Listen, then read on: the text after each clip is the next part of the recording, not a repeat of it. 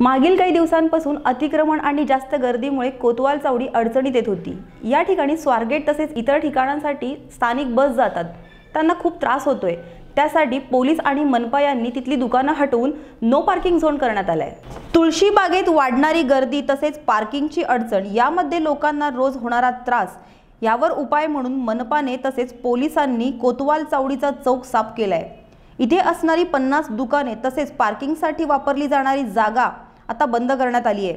त्यामुळे या जागेतील सर्व वाहतूक सुरळीत चालली असल्याची माहिती स्थानिकांनी दिली आहे. हा निर्णय योग्य होता याचे आम्ही समर्थन करतो असेही स्थानिकांनी सांगितलंय.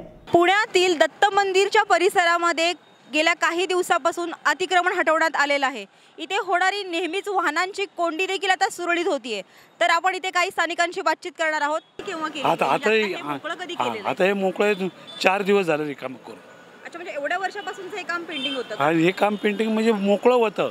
पण हे आजूबाजूला लोक बसायची. अच्छा. हा. आणि नेमकी अडचण काय होती तुमची इथली? आमची इथली अडचण म्हणजे हे रोड वायडिंग करता केलं होतं ना. हम्म, हम्म. त्यामुळं ते आमचं काही नाही. आम्ही खूप वर्ष वाढलो. आता काही त्यांच्या पुढे काही जाऊ शकत नाही ना काही.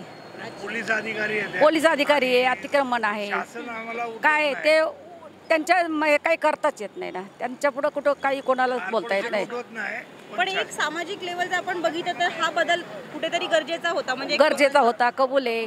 कसं आहे? तुम्हाला? आता मान्यच करावं लागेल ना. अच्छा. मान्यच करावं लागेल तो. लोकहितासाठी तुम्ही ते मान्य करा हा कारण काय आता एवढी मोठी चावडी उठवली एवढी मोठी किती वर्षाची चावडी होती ती ती उठवली. त्यामुळं हा बदल मान्यच करावा लागतो ह्या.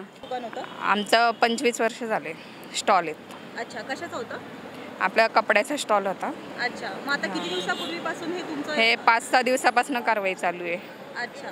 मग हे पोलीस कारवाई चालू आहे अच्छा कॉर्पोरेशन नाही का कॉर्पोरेशन अतिक्रमणामध्ये जे म्हणजे जे काही नुकसान हां, व्हायचं त्या हां. संदर्भामध्ये म्हणजे काय सांगू शकाल? एक ते त्यांचा निर्णय योग्य होता की कसं? नाही. कॉर्पोरेशन नाही ना ते त्यांच्याकडे लायसन आहेत ना.